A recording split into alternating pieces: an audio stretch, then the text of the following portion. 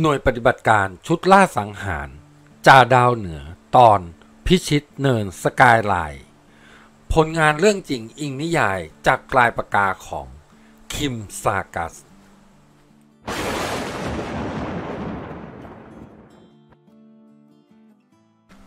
บรรยากาศภายในห้อง แม้ทุกคนจะอิ่มเอิบบนใบหน้า แต่ไม่มีใครเอ่ยคำใดออกมา ความรู้สึกต่างจดจ่ออยู่กับข่ายวิทยุจากจ่าแซม จนแทบไม่อยากหายใจ ยามนี้ไม่มีอะไรดีไปกว่าบุหรี่หมากฝรั่งหรือกาแฟเป็นแน่ กระทั่งพันเอกนอร์แมนเป็นฝ่ายทำลายความเงียบขึ้น North Star คุณเห็นอย่างที่ Sergeant แซมว่าขอเวลา 10 นาทีใช่ไหมโอเค ยังมีเวลางั้นผมขอถามอะไรคุณหน่อยเถอะ ครับ Colonel ทำไมคุณถึงตกลงปรงใจ ใช้วิธีจัดกำลังตลบหลังแทนการปักหลักซัดกันตรงหน้า เอาแบบซึ่งซึ่งหน้าเลยล่ะในเมื่อคนของเรามันก็มากกว่า VC อยู่แล้วนะแบบนี้ช้าแล้วก็เสียเวลาครับเคอร์เนล ลบกับ VC ต้องอาศัยความเร็วเป็นหลัก เอายุทธวิธีของมันนั่นแหละลบกับมัน VC ถือหลักลบเร็วเข้าเร็วออกเร็ว เพราะฉะนั้นเราต้องดัดหลังมันลวงมันให้เข้ามาอยู่ในวงล้อมให้ได้ครับ คุณใช้บ่อยไหมวิธีนี้ก็เคยครับแต่ไม่บ่อย เรื่องอย่างนี้มันแล้วแต่สถานการณ์ภูมิประเทศกำลังคนอาวุธ ที่สำคัญคือความเป็นไปได้บนจุดอ่อน ซึ่งจุดนี้เราต้องหาให้เจอก่อน ถ้าหาไม่เจอก็ทำไม่ได้เหมือนกันครับ แล้ววิธีไหนคุณชอบใช้หรือใช้บ่อยที่สุด ไม่มีเลยครับ เอา้าแล้วคุณลบยังไง ก็อย่างที่ผมบอกนั่นแหละครับ วางแผนล่วงหน้าบางทีมันก็ไม่ได้ผล ส่วนใหญ่อะมักไม่ได้ผลเสียด้วยซ้ำมันต้องไปดูข้างหน้าครับ สถานการณ์เป็นตัวบอกเราเองครับ หมายความว่าสถานการณ์มักเป็นตัวกำหนดแผนการใช่ไหมใช่ครับ วิธีนี้จุดอ่อนก็คือการเข้าใจแผนกับการรู้ใจซึ่งกันและกัน การลุกการถอยการยิงกด ยิงทำลาย การลวงการเอาจริง ทุกคนต้องทำโดยไม่ต้องมีใครออกคำสั่ง VC มันใช้วิธีปฏิบัติการแบบอิสระ หัวหน้าชุดมันไม่เคยสั่งการเลย แต่มันสามารถลบตามแผนได้ไม่ใช่เหรอครับ อืม แสดงว่า VC มันถนัดเรื่องการใช้หน่วยทหารขนาดเล็กทำการลบใช่ครับเคอร์เนลเพราะสถานการณ์อย่างนี้ใช้หน่วยทหารขนาดเล็กมันดีที่สุด แต่ถ้ามันใช้หน่วยขนาดใหญ่ประจันหน้ากับเรา มันสู้เราไม่ได้อยู่แล้ว เพราะระบบการยิงสนับสนุนของเรามันดีกว่าอำนาจทำลายด้วยอาวุธขนาดหนักก็สู้ของเราไม่ได้ อีกอย่างหนึ่งคือ เราเป็นฝ่ายรัฐบาลที่ถูกต้องตามกฎหมาย ส่วนพวกมันเป็นกองโจรครับ ใช่ ผมเห็นด้วย ถ้างั้นเห็นทีผมต้องเน้นการใช้หน่วยทหารขนาดเล็ก เข้าทำการรบกับ VC พวกนี้ซะแล้ว ก็ดีครับ ถ้าทำได้ทำไมทำไมถึงจะทำไม่ได้ คนของเราไม่พร้อมนะสิครับ เราไม่ได้ฝึกคนให้ทำการรบแบบนี้มาตั้งแต่แรก ความแข็งแกร่งทั้งร่างกาย จิตใจมีไม่พอ เอาตัวอย่างง่าย ๆนะครับ เอาแค่ตัวอย่างเดียวเท่านั้น คนตาย ถ้ามีการตายเกิดขึ้นเพียงคนเดียวเท่านั้น คนของเราในหน่วยทหารขนาดเล็กที่เหลือ ลบไม่เป็นทันที ลบไม่ออกเพราะวงหน้าเพราะวงหลัง เพราะเป็นห่วงศพไอ้ครั้นจะทิ้งก็ทิ้งไม่ลงต้องเอากลับให้ได้ เราให้ความสำคัญกับศพมากเกินไป ในขณะที่เวียดนามเหนือไม่เคยสนใจ ตายที่ไหนมันก็ฝังที่นั่นฝังตรงนั้นเลย เราเคยเจอหลุมศพขนาดใหญ่ จุคนเป็นสิบสิบมาแล้วไม่ใช่เหรอครับ พวกนี้มันถือหลักว่าคนเจ็บปล่อยไป คนตายปล่อยไป คนที่เหลือลบต่ออย่าชะงักไปนันขาด ต้องลบต่อจนกว่าจะได้รับชัยชนะ แต่มันก็ถอยทุกครั้งไม่ใช่เหรอใช่ครับ แต่นั่นมันแค่หน่วยจรยุทธ์ไม่ต้องการผลการลบถึงขั้นแตกหัก พวกนี้ลบเพื่อบั่นทอนกำลังฝ่ายเรา เล่นให้เรางอมจนเหนื่อยล้า แล้วรอจังหวะส่งกำลังหน่วยขนาดใหญ่เขาบดขยี้เราภายหลังเท่านั้น การถอนตัวของมันน่ะมันก็ไม่ได้ถือว่าแพ้นะครับ แต่มันถือเป็นความสำเร็จของภารกิจไปขั้นหนึ่งแล้วต่างหาก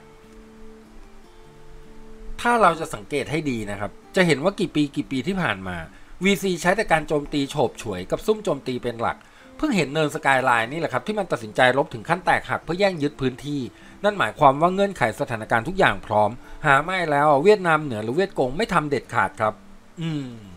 ทำไปทำมานะ กองทัพของเราเนี่ยจุดอ่อนเยอะแยะไปหมดเลย North Star คุณคิดยังไงบ้าง มันคงไม่เลวร้ายถึงขั้นเต็มไปด้วยจุดอ่อนหรอกครับ Colonel เพียงแต่ถ้าเราแก้ไขปรับหลักการทางยุทธวิธีเปลี่ยนค่านิยมทางสังคมปกติมาเป็นค่านิยมทางทหารซะบ้าง ค่านิยมยังไง ทางสังคมปกติกับสังคมทางทหารผมไม่เข้าใจ ก็โดยเฉพาะเรื่องศพไงครับเคอร์เนลเวียดนามเหนือทำพิธีสวดศพส่งวิญญาณทหารของเขาตั้งแต่ยังไม่ตายก่อนออกสู่สมรภูมิรบหน่วยเหนือมันทำพิธีให้ก่อนเลยทำอย่างสมเกียรติสมศักดิ์ศรีทุกประการเท่าที่ตัวเขาเองหรือญาติพี่น้องต้องการ เมื่อมันตายจริง ๆ ก็ไม่ต้องทำพิธีอีกเพราะถือว่าทำไปแล้ว ไม่จำเป็นต้องเอาศพกลับบ้าน หมายความว่าลดงานด้านธุระเกี่ยวกับศพให้แก่กำลังรบของเขาแล้วขวัญกำลังใจก็ไม่เสียด้วยถูกไหมครับ ที่ผมพูดว่าค่านิยมทางสังคม กับค่านิยมทางทหาร มันก็ยังมีอย่างอื่นอีกเยอะแยะนะครับ Colonel แต่มันก็พยายามเอาศพกลับไปทุกครั้งไม่ใช่เหรอ นั่นเขาไม่เรียกว่าเอาศพกลับหรอกครับ Colonel เขาเรียกว่าเอาศพออกจากพื้นที่การรบต่างหากเอ้าแล้วมันต่างกันตรงไหน ต่างสิครับ ต่างกันมากด้วย เวียดนามเหนือเอาศพออกจากพื้นที่การรบ ก็เพราะต้องการปิดข่าวการสูญเสียกำลังพลที่แท้จริงเท่านั้น พวกมันเอาออกไปแค่ระยะไม่ไกลหรอกครับ แล้วก็ฝังแล้วกลับมาลบใหม่ตามหลักยุทธวิธี ยกเว้นศพผู้นำตำแหน่งสูงๆ ซึ่งอันนี้ต้องเอากลับไปเพื่อเอาไปโฆษณาชวนเชื่อต่อประชาชนในแนวหลัง แต่ถ้าเป็นการเอาศพกลับประเทศแล้วก็เคอร์เนลครับศพเวียดนามเหนือมันมากมายก่ายกองกว่าเราเป็นเท่าตัว เรื่องอย่างนี้เราก็รู้ๆกันอยู่ มันเอากลับไม่ไหวหรอกครับ ไหนจะรถบรรทุกศพ เครื่องบินบรรทุก น้ำยารักษาศพ อุปกรณ์อื่นๆ จิปาถะ เวียดนามเหนือคงไม่เอางบประมาณมาสร้างในสิ่งไร้สาระให้คุณแค่ด้านจิตใจเพียงเท่านี้ไม่ใช่หรอครับ มันก็จริงของคุณนะนอสตาไล่ที่ว่าหลักยุทธวิธีของมันล่ะ คุณคิดว่ามันนิยมใช้อยังไงบ้าง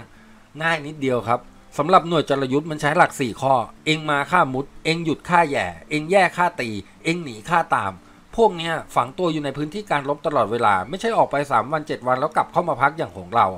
เวียดกงอยู่ในพื้นที่รับผิดชอบนานเป็นเดือนๆนะครับ อยู่กระทั่งชำนาญภูมิประเทศ ต้นไม้ทุกต้น หญ้าทุกกอ หินทุกก้อน ลาดทุกแห่ง แหล่งน้ำขุนเขา ถ้ำหลืบ ตรงไหนมีอะไรมันรู้หมด โดยเฉพาะพื้นที่สังหาร Colonel เคยตั้งข้อสังเกตไหมครับทำไมเวียดกงถึงวางกับระเบิดดักไว้ทั่วไปหมด ทั้งๆที่ตรงนั้นหรือบริเวณใกล้เคียงไม่มีหน่วยทหารตั้งอยู่แม้แต่คนเดียว นั่นก็คือมันได้ศึกษาลักษณะภูมิประเทศแล้วว่าสักวันหนึ่งอะน่าจะต้องมีกำลังฝ่ายตรงข้ามเข้าไปเคลื่อนไหวบริเวณนั้นแน่ โดยที่มันไม่ต้องไปคอยเฝ้าตรวจการสนามรบเลย แต่มันสามารถรู้ได้ด้วยกับระเบิดที่มันดักไว้นั่นแหละครับ หรืออาจพูดว่าระบบเฝ้าตรวจสนามรบของเวียดนามเหนือใช้กับระเบิดหรือไม่ก็เครื่องกีดขวางอย่างอื่น ในขณะที่ของเราใช้ชุดลาดตระเวน ใช้ผู้ตรวจการหน้าใช้นักบิน แบบนี้ Colonel ว่าของมันกับของเราอย่างไหนคล่องตัวแล้วก็ประหยัดได้ผลกว่ากันล่ะครับ เอ แสดงว่ายุทธวิธีของมันกับเรานี่ตรงข้ามกันเลยนะ ใช่ครับ ของเราน่ะมันเป็นการรบในแบบ ส่วนของมันน่ะรบนอกแบบไงครับ แล้วคุณล่ะ North Star คุณใช้ในแบบหรือนอกแบบ ผมใช้ทั้งสองอย่างครับ บางครั้งก็ใช้ยุทธวิธีของมัน บางครั้งก็เอาของเรา หรือไม่ก็ผสมกันระหว่างทั้งสองอย่างสนุกดีครับ ฮะ สนุก คุณว่าการรบนี่มันสนุกเหรอ ครับ สนุกดีทำไมครับ สนุกยังไง ถาม Major โรเจอร์ดูสิครับ เพราะเขาก็สนุกเหมือนเหมือนผมนี่แหละ สนุกไง Major โรเจอร์ผมไม่เคยเห็นคุณพูดเลยว่าการรบเนี่ยสนุก ก็พอสนุกแหละครับ แต่ออกจะสนุกน้อยกว่าของ North Star เขาหน่อย เฮ้ย ผมชักงงพวกคุณสองคนนี่พูดกำกวมจริง ๆ พูดให้เคลียร์หน่อยสิ ครับ Colonel มันก็สนุกตรงที่ได้เงินค่าคอมมิชชั่นไงล่ะครับ ของผมมันสนุกน้อยกว่า เพราะได้รับน้อยกว่า แต่ถ้าได้รับมากๆ มากเท่าไหร่ก็สนุกเท่านั้น แบบนี้ Colonel ว่ามันน่าสนุกไหมล่ะครับหืมผมว่าไม่น่าสนุกเลย แล้วกรณี Sergeant แซมไม่มีคอมมิชชั่นล่ะ เขาสนุกไหม Sergeant แซมไม่สนุกหรอกครับไอ้นั่นมันบ้าสงคราม มันชอบของมันอย่างนั้น ขอให้ได้ฆ่า VC เป็นชอบ ไม่งั้นมันคงไม่ขอย้ายตัวเองไปลบเวียดนามใต้กระทั่งถูกย้ายมาลบในลาวนี่หรอกครับ โอเคโอเค แล้ว VC ล่ะ คุณว่ามันสนุกไหมก็สนุกเหมือนกันครับ พวกมันสนุกเพราะได้ลบตามอุดมการณ์ ความเชื่อถือในผู้นำที่บ้าอำนาจคิดแต่จะครองโลกลูกเดียว จัดการปั่นหัวล้างสมองทหารเลวพวกนี้แล้วส่งออกมาตายแทนไอ้ผู้ทหารเลวมันหลงคิดว่านั่นคือของดีเป็นวิธีการที่ถูกต้อง ก็เลยมุทะลุทำการลบ ไม่ได้คิดเป็นเรื่องเป็นเรื่องตายแม้แต่น้อย รวมความแล้วผมว่าไอ้ VC มันก็สนุกครับงั้นแปลว่า ทุกคนทุกฝ่ายสนุกกันหมด เหลือผมคนเดียวไม่สนุก Colonel ก็สนุกนะครับ สนุกกับการเป็นหัวหน้าใหญ่ CIA นี่ไงล่ะครับเชียส องค์กรเราไม่ใช่องค์กรทำสงครามนะ เราต่อต้านสงคราม เราต้องการให้โลกมีแต่ความสงบสุขครับ ต่อต้านสงครามกับทำสงครามมันคนละเรื่องกัน แต่เอจะต่อต้านหรือจะทำทั้งสองอย่างมันก็ต้องรบอยู่ดีไม่ใช่เหรอครับ Colonelไม่รู้สิงั้นนอสตาคุณถามเซอร์เจนแซมทีสิตอนนี้สนุกถึงไหนแล้ว อย่าเพิ่งเลยครับ เขาอาจจะกำลังทำอะไรสักอย่างอยู่ก็ได้ เป็นต้นว่าอาจจะกำลังคืบคลานเข้าหาข้าศึกกำลังฝังตัวนิ่งรอดักทางซึ่งต้องการความเงียบ ตัวเขาเงียบ แต่วิทยุเราเข้าไปส่งเสียงพอดีเสียรับข้าศึกจับจุดได้ เหตุไม่ตั้งใจหรือหวังดีเกินไปทำนองนี้สร้างความเสียหายแก่ชุดปฏิบัติการมาแล้วไม่น้อยครับ แล้วทำไงเราถึงจะรู้ข่าวความเคลื่อนไหวของเขาล่ะ เขาพร้อมเดี๋ยวเขาก็ส่งมาเองแหละครับเพราะถึงอย่างไรชุดปฏิบัติการก็รู้อยู่แล้วเรา standby วิทยุไว้ เขาสามารถเรียกเรามาได้ตลอดเวลา แต่ทางเราอะต้องเลือกเวลาหน่อยครับ ถ้าเขาตายหรือว่าสถานการณ์หนักขึ้นล่ะ ถ้าเขาตายคนอื่นก็เรียกวิทยุมาแทน ส่วนที่ว่าถ้าสถานการณ์หนักขึ้น ตัว Sergeant ก็ต้องเรียกด่วนมาเองนั่นแหละครับ ถ้าเขาตายพร้อมวิทยุเสียหายใช้การไม่ได้ล่ะ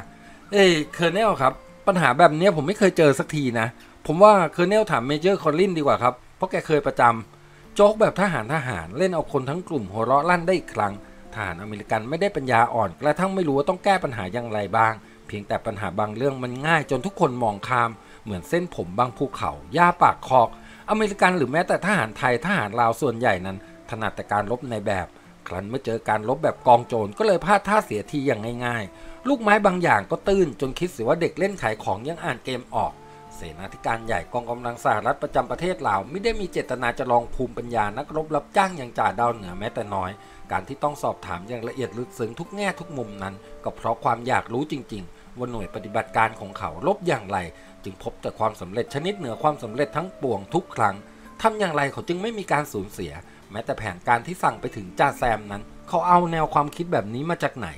การถามปัญหาที่กว้างไกลออกไปย่อมทำให้รู้ลึกซึ้งขึ้น มันสมองระดับเสนาธิการมองออกทันทีว่ากองทัพ โดยการนำของตนนั้นยังมีจุดอ่อนและบอบบางอย่างไม่คาดคิด การวัดผลโดยคะแนนที่ครูฝึกบันทึกจากสนามในหน่วยปกติ เป็นเพียงข้อมูลเบื้องต้น ซึ่งไม่สามารถนำมาเป็นเครื่องชี้ขาดว่าทหารหน่วยไหนมีความพร้อมทำการรบได้กี่เปอร์เซ็นต์ การวัดผลเพื่อให้รู้ขีดความสามารถอย่างแท้จริงคือ ในสนามรบที่มีค่าศึกจริง ๆ เท่านั้น รบแบบกองโจร รบในแบบ